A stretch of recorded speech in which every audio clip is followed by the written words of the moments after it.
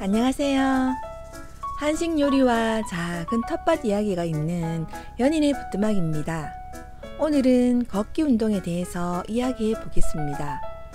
비가 와도 어김없이 우산을 쓰고 걷기 운동을 나왔어요. 초여름 비가 보슬보슬 내려요. 비 맞은 꽃들이 얼마나 예쁜지 몰라요.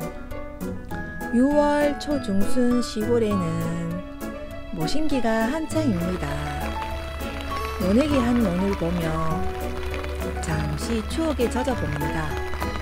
걷기 운동은 대표적인 유산소 운동입니다. 일주일에 최소한 3회 이상에서 4, 5회 이상 걸으면 체력 향상에 도움을 줍니다. 처음에 2, 30분 정도로 천천히 걷기 시작하여 좀 익숙해지면 빠른 걸음으로 40분에서 1시간 정도로 운동 시간을 늘립니다.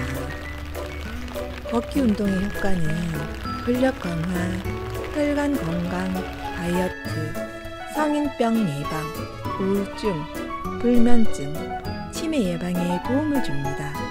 시청자 여러분, 걷기 운동을 꾸준히 해서 뇌와 신체가 젊어지는 더 건강한 삶을 유지하세요. 시청해 주셔서 감사합니다.